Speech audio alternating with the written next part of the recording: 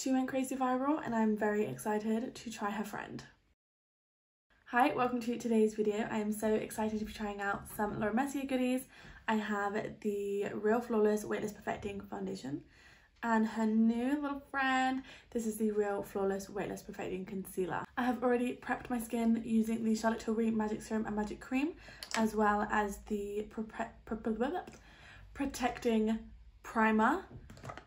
Say that 10 times fast, I couldn't even say it once.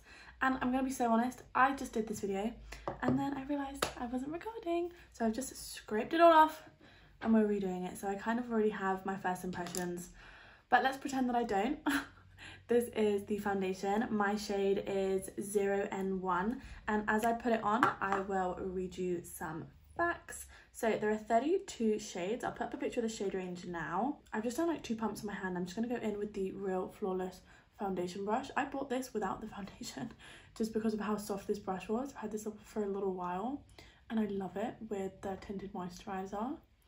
That spot has been through it today. Poor spot.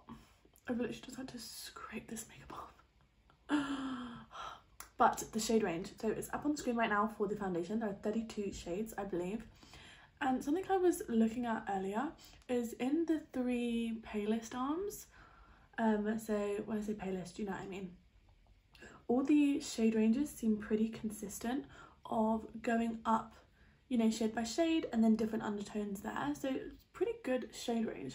But then if you look at that final arm, the one on the right hand side, the deepest arm, if you look at number six, which are the three, one away from the bottom, that's shade six, and then the one right at the bottom is shade seven.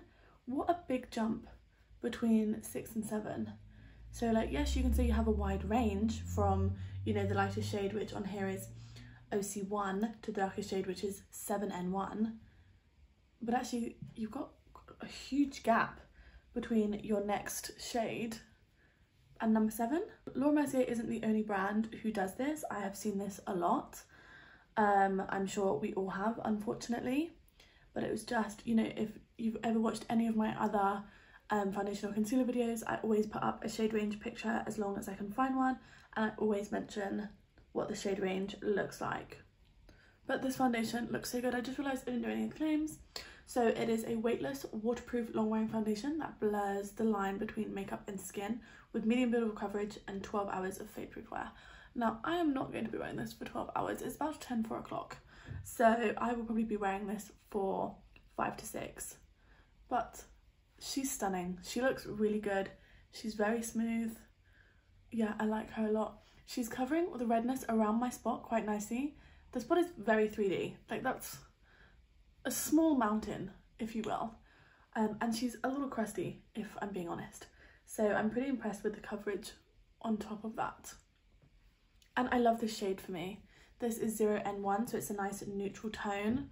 And I just love a neutral tone. I just have a little bit more on the back of my hand that I'm just going to build up in the centre of my face for a tiny bit more coverage because why not? because I love coverage, that's why actually. that is exactly why. And I've not actually had any lunch, so I'm starving. I was going to have lunch after I finished the video and I suddenly went to do my final thoughts when my full face was done and I looked and it wasn't on. So you win some, you lose some and today I lost but it means I'm getting another go with the foundation. And also you're getting my like first impression um, and like first thoughts in a more concise version than they probably would have been in the first video at least. So i'm trying to look for the positives here. Moving on to the concealer. Oh and the foundation is 38 and the foundation brush is also 38 this brush so smooth. I really really like the brush.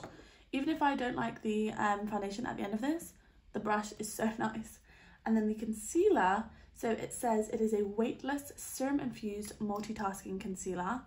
It's a cute little component and it's cute that they match with the colours. Um, a weightless serum infused multitasking concealer that quickly brightens, hydrates and smooths while providing medium coverage, crease proof, cake free formula, up to 16 hours of wear time and a natural finish. And there are 22 shades and I'll put up the shade range now. And we've got that same issue between shades shade ranges six and then that big jump to seven, same as the foundation. I mean, at least they're consistent. One thing about the concealer is that it's the same shade as the foundation. I would have loved, it says brightens. This shade is not going to brighten for me, honey. These are both in the shade 0N1, so they're both the lightest shade, the shade Silk, um, in the foundation, so it's not going to be brightening on me, unfortunately. But if you could get um, a 1N1, then 0N1 would be really nice and brightening for you, but it's not for me. And it does oxidize just a little. See, that's what I'm saying. My thoughts are just more concise because I've done this already. And I also know that I preferred blending this out with a brush over my little concealer sponge. This is just from Smashbox. And this is from Coco. It's, it's dirty, okay? Don't look at it. Um, it's from Coco Cosmetics by Chloe, which is now, is it Clomana? I don't know if I'm pronouncing that right. I really don't know um, what they were changing it to. I know how to spell it, but that's it. I didn't really need to put it down the bridge of my nose and the centre of my forehead. It's not really doing that much brightening um, but just for you know normal normal routine's sake I guess this is a really nice and smooth duo though both of them are very smooth definitely feeling hydrating this um, concealer says it's a serum infused so I wonder what the um I can't see where it says what the ingredients are but this feels very nice very nice indeed I mean, that is very stunning. I'm going to put a bit more concealer as well, just because I did that last time and it built up quite nicely. Stunning. It built up quite nicely and yeah, because I want to, okay? The foundation has already done a nice job of concealing that spot anyway, but when I put this on last time, it just, it gave it a little bit of something extra, you know? And now while that sits a little to dry down, I'm just going to go in with my Vieve bronzer. Put a little on there and then blend it out in a second. And this just, well, the Vieve bronzer is just banging anyway, but it does seem to work really well with this foundation. I love that bronzer so much. I'm to go in with a new find. This is the Cream Blush Stick from Summer Fridays. This is in the shade Dusty Mauve. Dusty Rose, I was close. And this is just a Made by Mitchell brush. This is MF1 and that brush I used for the um, bronzer, by the way, was just a random stippling brush. I think I got it in like a beauty box years ago and it's my favourite brush ever, but it's got no words on it. It just says Beauty UK. Uh, when I say words, I mean it's got no like number or powder brush or stippling brush or anything like that. All it says is Beauty UK. So I need to see if I can get something similar or just another one of them. But I've had it for years. It has been through it and I just can't get rid of her. I'm just trying to tap around the concealer to try and keep it on a little friend. I mean, I feel like I've brought a small amount of attention to it by putting on more coverage, but it has taken away the redness. It's just the bump you can see. So I'm not mad actually, especially you think that's a medium coverage. Not bad. Swipe it across my lid. I think that looks so nice under the eyes. Yeah, I like the concealer. My one thing is I wish there was a lighter shade for me. And then on the topic of shades, I've already mentioned, it'd be nice if it was just a little more my battery died but the only bit that you missed I just checked the footage the only bit that you missed is me finishing blending that concealer and then saying I'm gonna add everything else to my face and come back to show you the final result and give you my first impressions. So it was just the last little bit at least because if I had to redo this whole thing for a third time I think I would have screamed. Yeah? And I don't know if you can see but my cat is just here. So if you're wondering what I'm staring at it's her. Hi sweetie. Hi. Yeah. Yeah. But so this is the full face. I love how it turned out, but I was using other products that I know and love. So, but the foundation, first impressions, really enjoying. And the concealer also enjoy. To be honest, I think my main kind of points are they both feel very smooth, very creamy, both a nice medium coverage, and I can definitely see that. The only thing for me is the shade range is a bit jumpy, but also my personal shade for the concealer, I would have loved for it to be a little bit lighter so that I could get that brightness that, you know, one of the claims was that it brightens. My under eyes don't look that bright, but it's because the concealer was the same shade as the foundation. So, you know, it swings and roundabouts, but it's very smooth. It played really nicely with all the other products.